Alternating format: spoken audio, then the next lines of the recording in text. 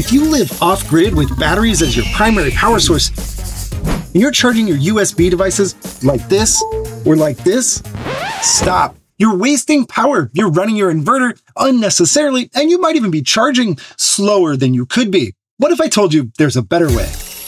By the end of this video, you'll understand why you should be charging directly from your batteries and not using your inverter. Plus, I'm going to show you my favorite products that you can use to save power, charge faster, and save wear on your inverter.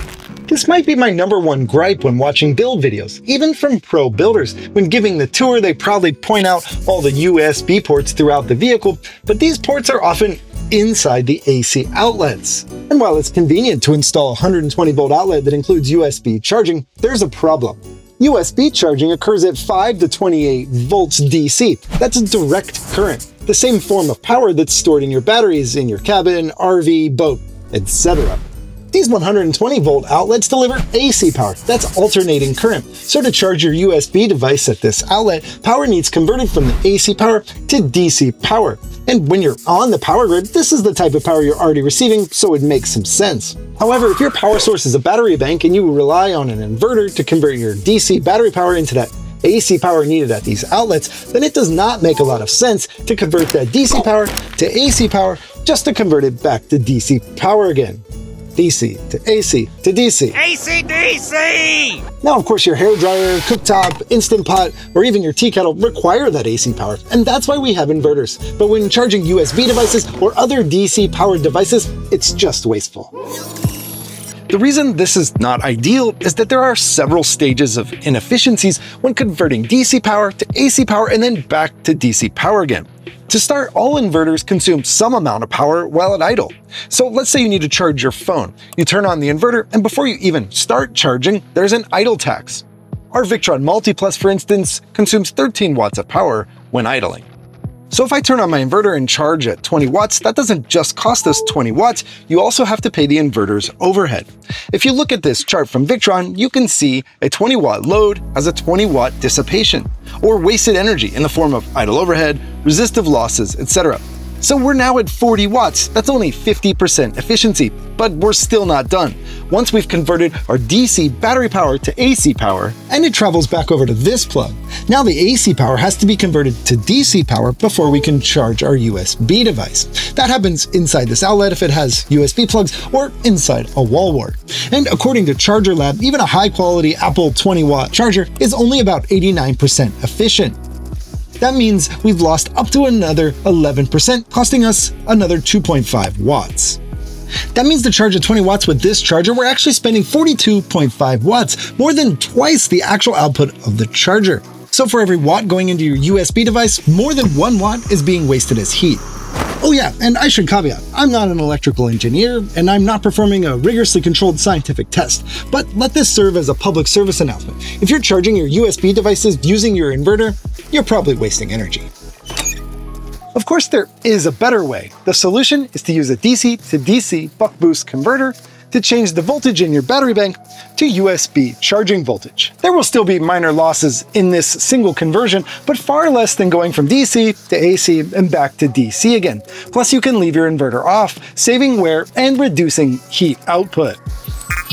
This is a ChargeIt Mini from Cool Gear. They make a range of USB charging devices that can be powered directly from DC power. These feature overcurrent and overvoltage protection. This model features one USB-A quick charge port and one USB-C power delivery port that can deliver up to 75 watts total, 15 watts on the USB-A and 60 watts on the USB-C. And it accepts 9 to 28 volts DC on the input. There's even a 24 volt model that has two 100 watt USB-C PD ports. One advantage of these converters is that you can plug directly into them, or you can use any style of USB panel mount extension that you like. Across the aisle on our other bench, I use another ChargeIt Mini with a single 100 watt USB-C power delivery port that I use for my MacBook Pro for maximum charging. Then in our charging pantry, I use the 110 watt model. That has two USB-C PD ports for things like laptops and tablets, so we can charge them at high speed when they're not in use.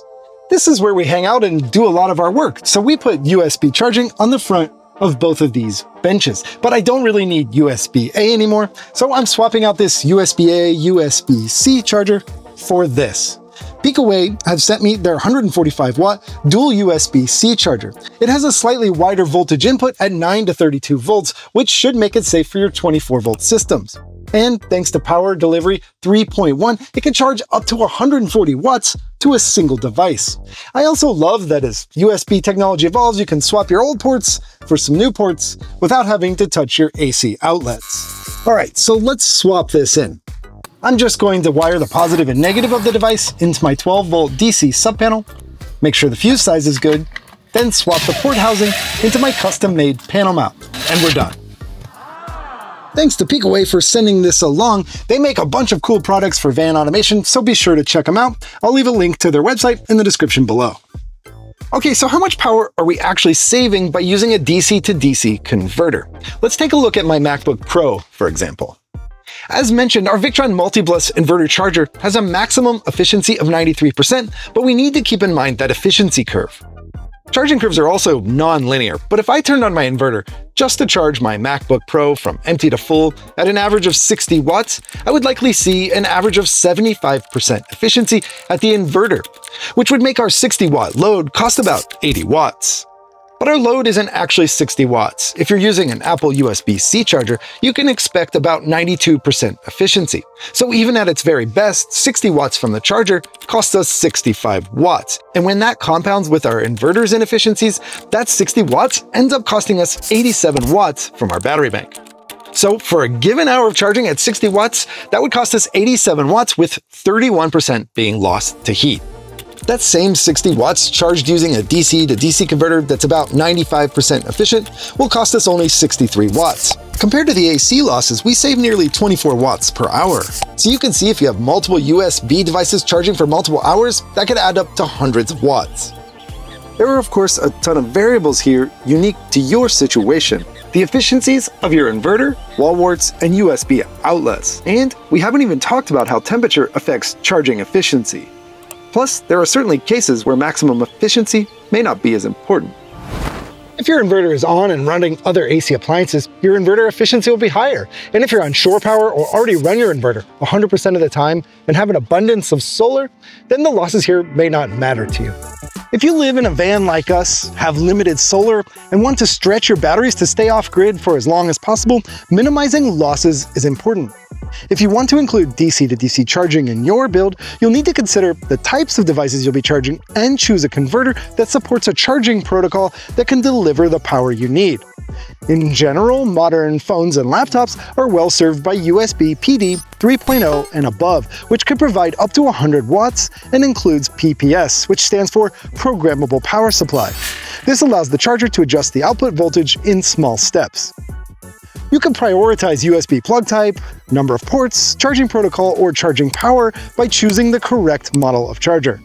I'll link to the ChargeIt Minis and the Pekaway chargers down below.